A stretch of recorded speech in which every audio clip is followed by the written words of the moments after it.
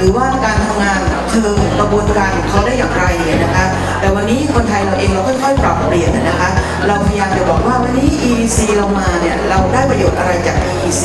ตัวดิฉันเองอยากจะให้ทุกคนเนี่ยถามกลับนะคะว่าเราจะคว้าประโยชน์จากนโยบายภาครัฐได้อย่างไร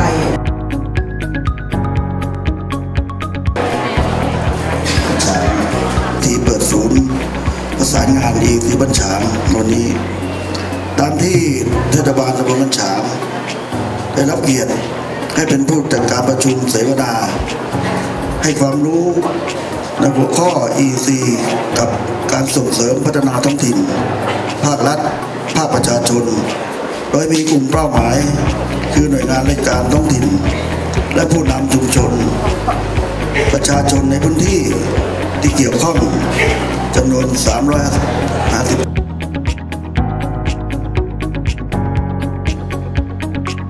เราจะปรับปรุงปฏิรูปหรือพัฒนาเนี่ยต่อต้านเต็มที่นะครับ อันที่สองก็คือพวกการเมืองเข้ามาเพื่อที่จะสร้างคะแนนนิยมทางการเมืองอันนี้ก็เป็นธรรมดานะครับ แต่ทีนี้พอมาถึงพวกเราเนี่ย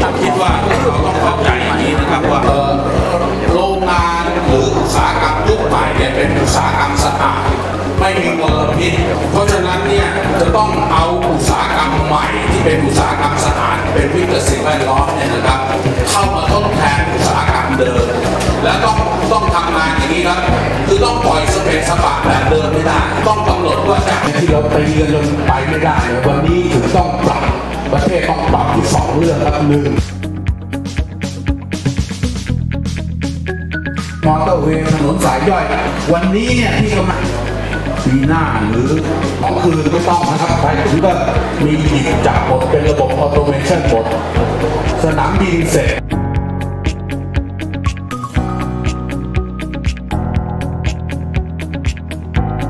เข้าร่วมวันนี้นะฮะถือว่าเป็นวิกฤตที่สำคัญที่สุด ผมได้รับการประสานงานแล้วก็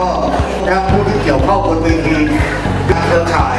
นะฮะท่านดรพิมพ์เกษมเนี่ยเป็นผู้ที่มีบทบาทสำคัญมาทำงานเกี่ยวกับ EC นะครับเราได้รับคำตอบว่า จะร่วมมือกันจะขับตัวเคลื่อนตัวไปข้างหน้า แต่ก็ไม่ได้หมายความว่าสิ่งเหล่านี้เนี่ย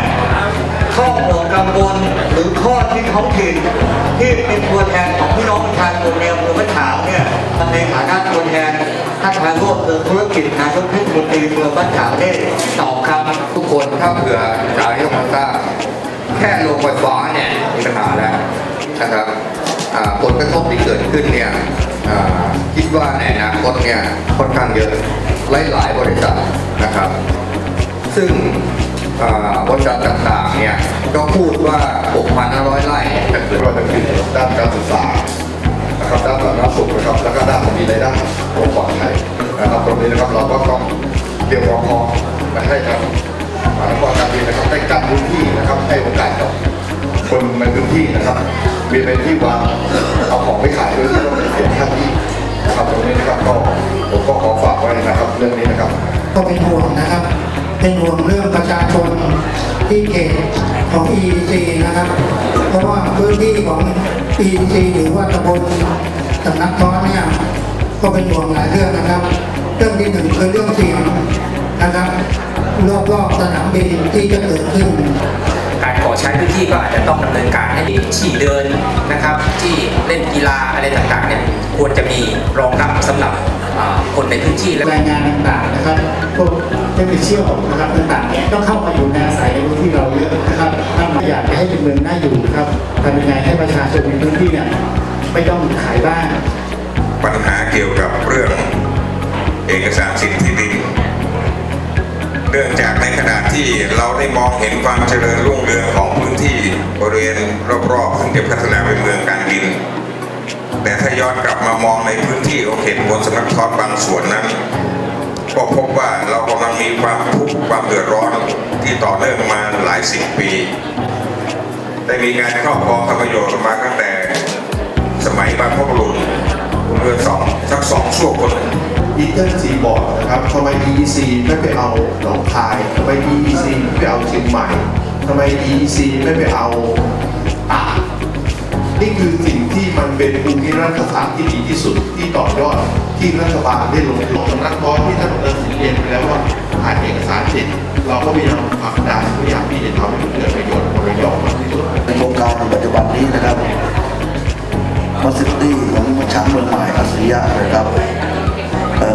ที่เรานะครับตอนนี้เราก็เดินหน้าคืบหน้ามาตลอดนะครับ โดยที่หน่แล้วก็ผู้บริหารทางท้องที่ท้องถิ่นทางผู้บริหารท้องที่ติดเลยนะเพราะว่าบนพื้นที่ของการทางซ้ายพอดีเลยไปทางขวาก็พอดีขึ้นบนขึ้นล่างพอดีอยู่ถึงกลาง